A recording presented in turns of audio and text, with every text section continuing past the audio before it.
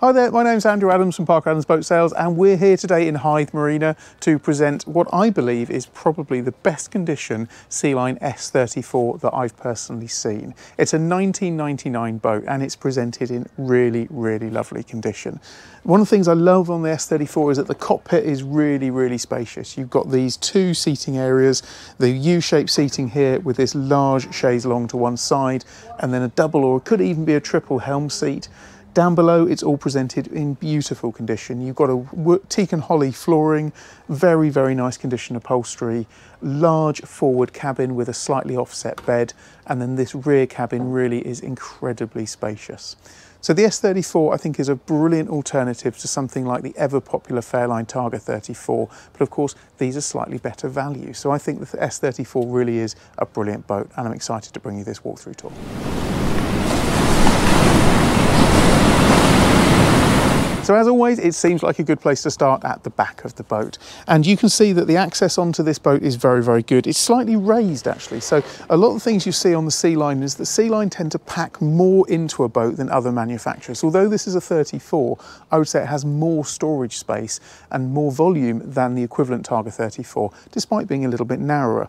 And you can see that from the stern. So the stern has got a, a twin height area. You step up onto the, um, that area. And then here you can see it's a little little bit of an old, harking back to the old days where davits were very popular on boats, but you can still buy davits. If somebody wanted to have davits on this boat, they would be mounted onto those plates there, and then the tender would sit up here out the water, or you can have snap davits where the tender would just lift up. You have a storage locker in here, which is enormous. So in there, you've got a couple of fenders. There's a bucket full of cleaning materials. So that's a really, really good space in there. You have a transom shower on the boat and you can see the teak is in good condition. It's showing some signs of wear so you can feel the caulking underneath. So it could be sanded back, but there's a lot of depth on there so it would come back really, really nicely. There is also a bathing ladder so this just lifts up into there and you can see there is a four step bathing ladder which runs down and then good grab handle on there um, as you come out onto the cleat. So as you step up you can see you've got these little steps here which are onto teak and the teak in the cockpit the owners treat this with the, the Semco two part cleaner uh, once a year and then put the protector on it as well and you can really see that the teak is presented beautifully. But if you just, if I just stand here and you, if you just pan around the cockpit space, I really have been blown away by the condition of this boat. The moment I stepped on board it, I could tell this is a boat that has been really, really loved and cherished by the current owners, who have owned the boat for about six years. Now she's powered, powered by twin KAD32s, which is pretty much the standard engine that comes in the S34, which gives a good turn of performance, but also is really good on the economy as well. And I'll show you down into the engine bay a little bit later. But the layout on the S34, I really like this large chaise longue area. So you can really put your feet up in this area here. Um, and you can get, if people were going along, you'd probably get three adults along the area there, three or four children certainly.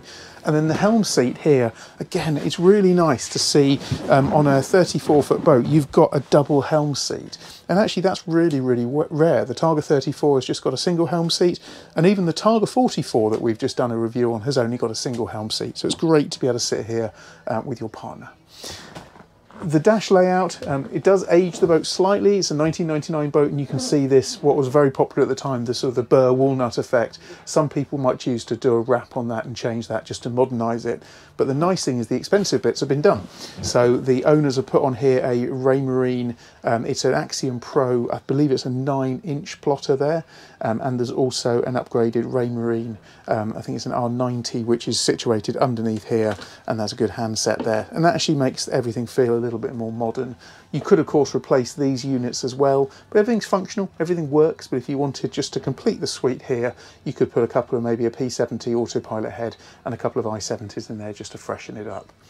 The boat's fitted with a bow thruster. Um, that's got a separate battery and all the batteries on this boat were replaced within the last couple of years.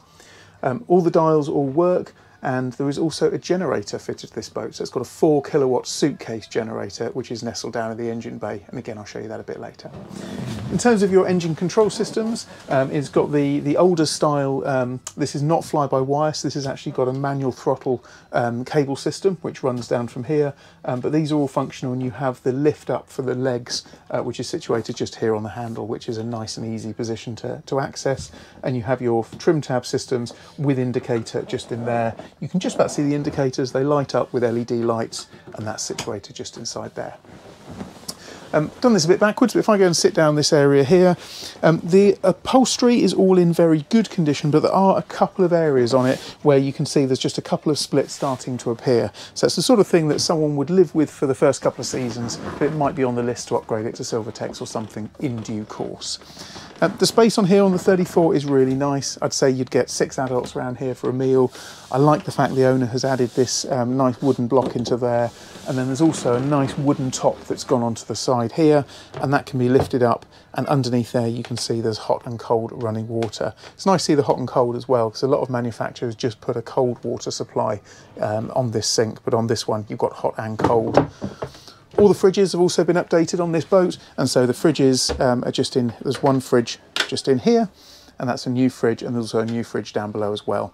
Gas bottle is situated just in the bottom there, so the gas, um, there is gas on board this boat, although the owner could choose to upgrade that and put a, um, a ceramic hob on, because of course you do have the generator for power as well.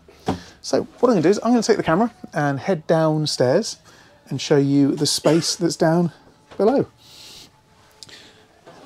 Sealine are quite clever because they've got relatively steep steps um, on the S34 and the reason they have steep steps is because you then have a lot more space once you're down below.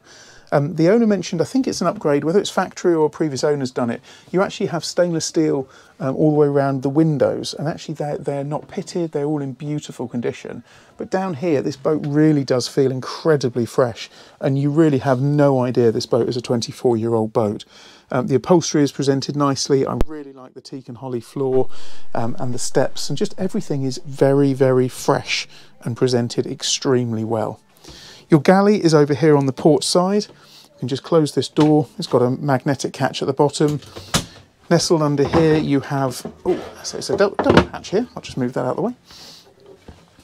So just underneath here, you have a two burner hob, which as you would expect on this boat, is all incredibly clean and tidy. You have a twin sink system and then lots of storage space all across the top, a gas oven down there, and another one of these new fridges down here. There's a smart TV fitted up here on the bulkhead, together with um, the original Sealine barometer and clock system as well. Um, the lights have been upgraded to LED, so you can just see the LED lights just up under there, so it's nice and low, low power draw, and all the carpet that's around the edges, again, is just presented very, very nicely.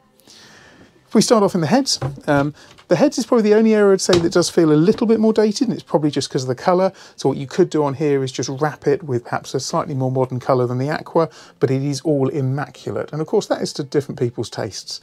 Um, but the big advantage of the, this over a Tar Targa 34 is you do have the Jack and Jill door. So from the front cabin point of view, you have access directly into the heads, which is something that the Fairline Targa 34 doesn't have. This is all again presented beautifully and the lighter wood does make this boat feel much, much more modern.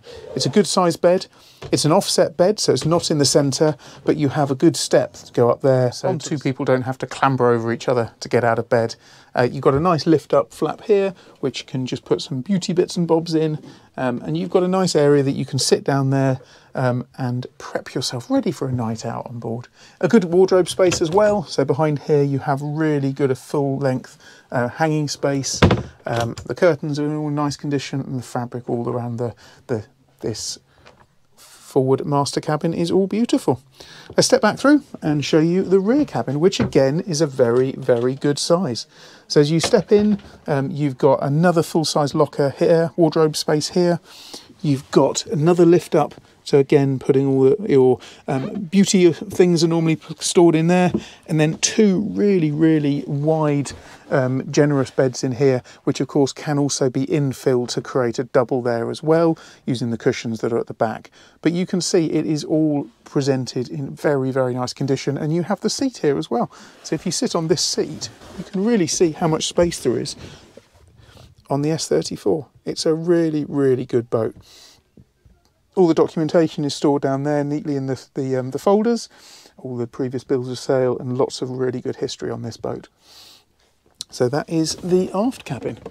Make our way forward again. Just give a quick sweep again, just to show you how much space there is down here. And as you can probably tell, I really am quite taken by this boat. I think this boat really is presented in lovely condition and a real, real credit uh, to the owners. So as we sit down again, um, what I'm going to do now is I'm just going to show you how access to the engine bay is done. And then you just lift this up. And if I take the camera again, what you can see down here is twin KAD32 engines in a really, really big size engine space. Now these are presented in very, very nice condition. There you can see that Fischer Panda suitcase generator, four kilowatt down there. You've got the immersion heater down there in the corner. And then you've got recently replaced um, Seafire extinguisher system down here. This really is a boat that is loved. And I really like this bracket down here, which holds an engine heater as well, just to keep the engines in, in nice warm condition throughout the winter. So that's really nice to see. I'll put that back up there and close that down. I think that's gone well, with the exception of dropping a little piece of wood there. Um, so this has been a Sealine S34, 1999 boat, but I would say without question this is the best S34 that I've personally been on.